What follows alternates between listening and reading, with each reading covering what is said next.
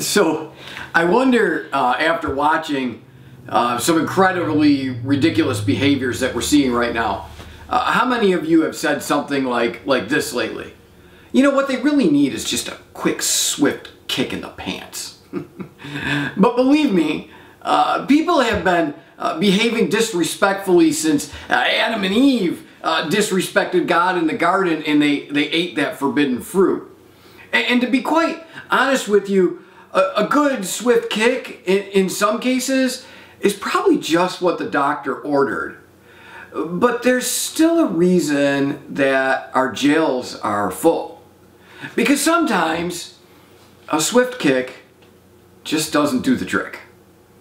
It doesn't bring about the behavioral change that we're really hoping to see in people. The reason it doesn't is because behaviors can't truly change until hearts do. So the solution isn't always a swift kick or a strong rod of discipline, though they are still probably part of the process.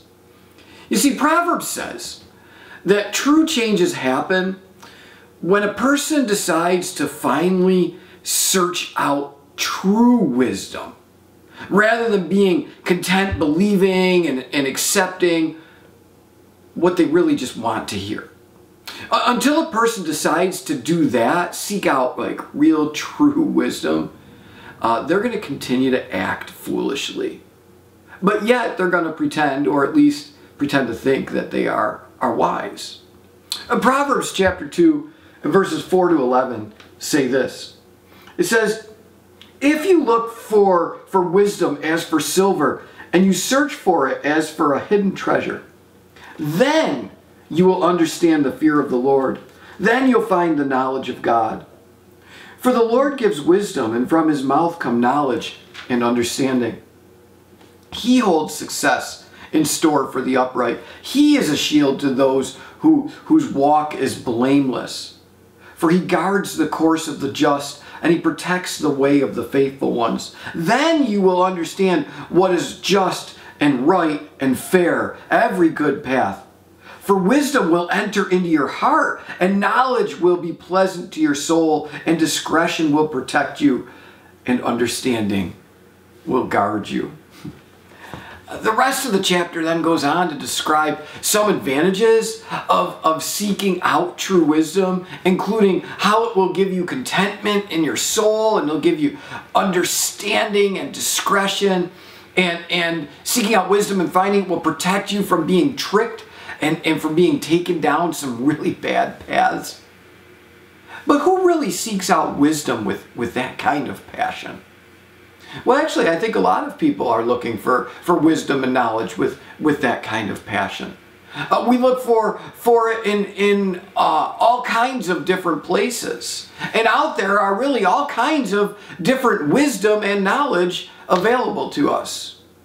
But a lot of that wisdom and knowledge are actually quite contradictory. Uh, this Sunday I'm going to be preaching on some coronavirus and mask wearing thoughts but what we see out there in relation to the knowledge and wisdom of the world, it's super contradictory. Uh, one person says, hey, this behavior, doing it this way is wise, and another person says something completely opposite of that, like totally different. And the crazy thing is, both of those people have PhDs. the problem isn't their level of knowledge. The problem is where they're turning to to get that knowledge. Oh, that's why true wisdom and God are synonymous. God is the only place that one can turn to to get to get true wisdom. And that's where we need to search hard for it.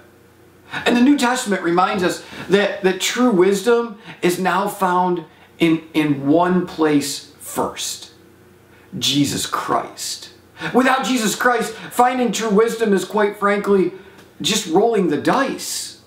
You might hit some, you might not.